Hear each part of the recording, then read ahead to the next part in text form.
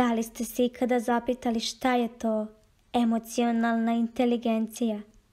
Da li je emocionalna inteligencija koliko je naša ljubav prema nekome jaka ili koliko dugo traje? Možda je emocionalna inteligencija načina koji prolazimo kroz raskide ili se tiče nečije preterane želje za slatkišima.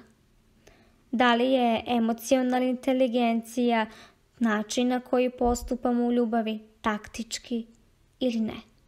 Možda se ipak odnosi na to da li smo prevarili partnera ili smo ostali odani, odnosno emotivno inteligentni.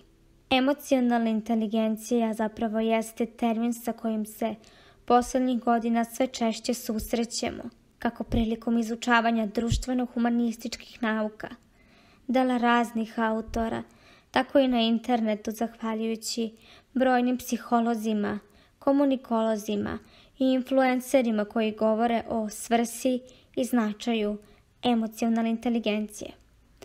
Emocionalna inteligencija predstavlja spoj više sposobnosti, sposobnosti prepoznavanja, razumevanja i kontrole emocija. Emocije same po sebi jesu jače od čovekovih osnovnih i najjačih motiva. Emocije se jače od gladi, seksualnog nagona, čak i od nagona za preživljavanjem. Dakle, emocije su jači od nečije želje za slatkišima i ne tiču se nečije vernosti, jer jače su i od toga.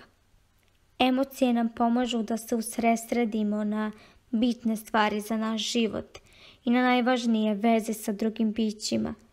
Emocije mogu da nam spasu život ili da nas dovedu u neku smrtnu opasnost, da nas usreće, ali i u nesreće u propaste.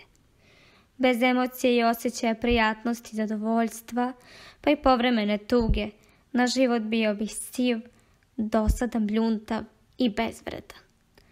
Ključni faktor uspjeha nije samo visok koeficijent inteligencije, već spoj sa emocionalnom inteligencijom na koju često zaboravljamo. Suština stavljanja akcenta na emocionalnu inteligenciju jeste u tome da svakom našom komunikacijom upravljaju upravo emocije. Bez obzira da li je reč o poslovnom kontekstu ili ljubavnom, emocije proživljavamo uvek i svugde i nemoguće je da ih izostavimo. Moramo da naučimo kako da prepoznamo svoje emocije, da naučimo kako da upravljamo njima, jer samo tada ćemo posjedovati nešto što se naziva emocionalna inteligencija.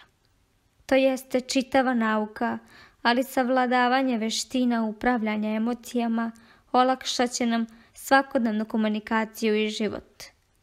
Osluškujte svoje emocije i budite emotivno inteligentni.